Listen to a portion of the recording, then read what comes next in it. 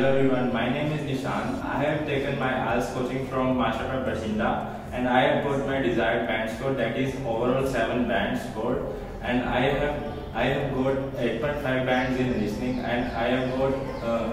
6.5 in reading and in writing and speaking I have got 6 bands each and I prefer this institute to everyone because the staff here is very supportive as they provide extra classes to help an individual